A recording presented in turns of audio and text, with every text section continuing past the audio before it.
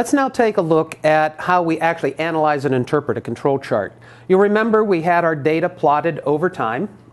Time is on the horizontal axis, and our measure of interest is on the vertical. We're going to have as our center line the mean, x bar, and we're going to have our upper and our lower control limits, UCL, LCL.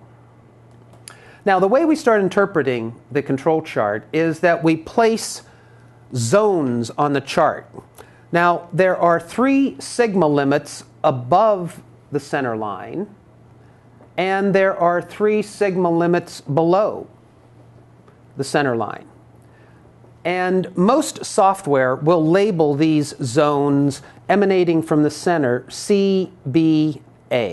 Same above, CBA.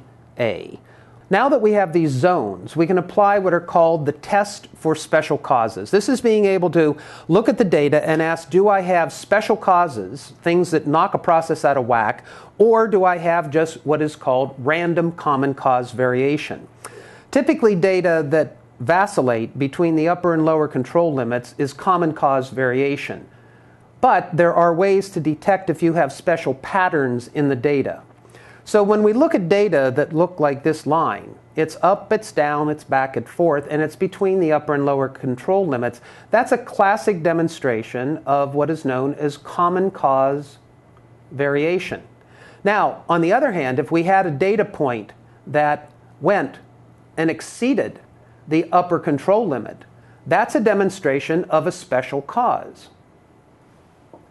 That is, data that have exceeded the upper estimation of the variation in the process by the upper lower upper control limit or similarly you could have a data point that exceeded the lower control limit.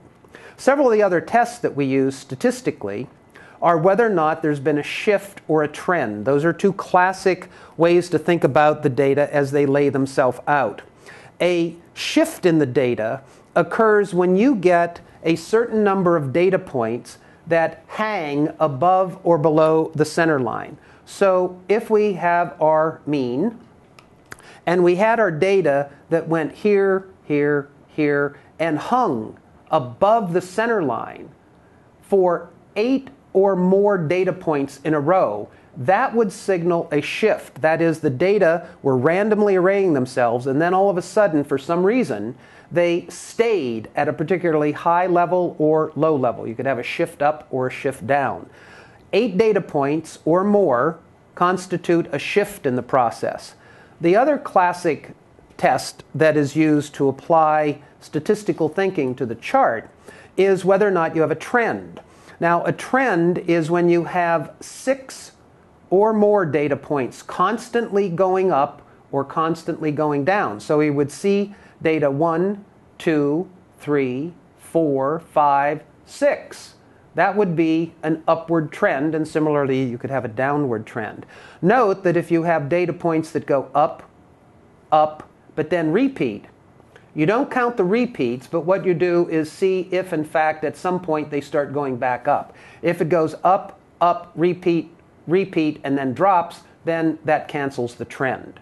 So we have these two key tests. One is for a shift, and one is for a trend.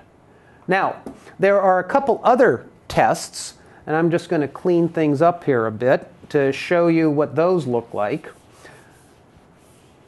We oftentimes will look to see if we have data that form abnormal patterns. So let's have our upper and our lower control limit with our mean. And then we have data that start arraying themselves around these zones. And there's two key tests that we look at to understand whether or not data that fall even between the control limits are demonstrating abnormal patterns. The first one relates to how the data array themselves in these zones. And I'm going to again put the C B, and A zones on here. When you get two out of three data points in zone A or beyond, that's a signal of a special cause. So here are two out of three data points. You could have it lay itself out like this. And you could actually have the third data point here. You still have two out of three in zone A of the chart. Now, people say, I understand where a data point that exceeds an upper or lower control limit is extreme variation. Now you're telling me that you can have patterns within a chart between the control limits that actually demonstrate special causes, an abnormal pattern. And the answer is yes. Here's the simple explanation.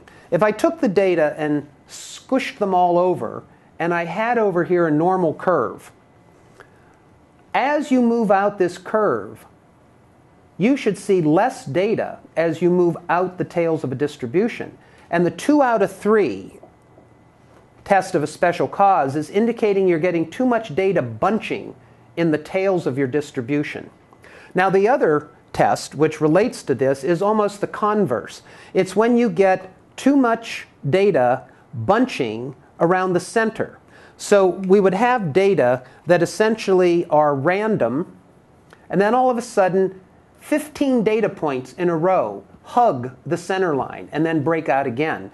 When you have 15 data points or more hugging the center line, that is falling between zone C's, plus and minus one sigma on other side of the mean, this is a signal that there's too little variation. And this gets to the fact that if we looked over here to our static display of data, you'll remember from basic statistics that about 68% of the data fall between plus and minus one standard deviation of the mean on a, on a normal curve.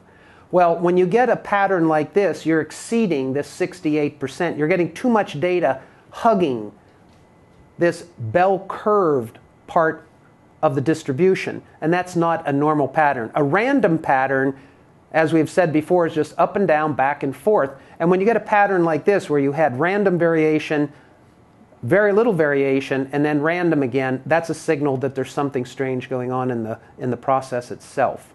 So we have these different rules. We have a trend, we have a shift, we have two out of three, and we have 15 or more hugging the center line. The classic rule that we started with is when you have a single data point that exceeds the upper or lower control limit, and that is classically known as a 3 sigma violation of special cause.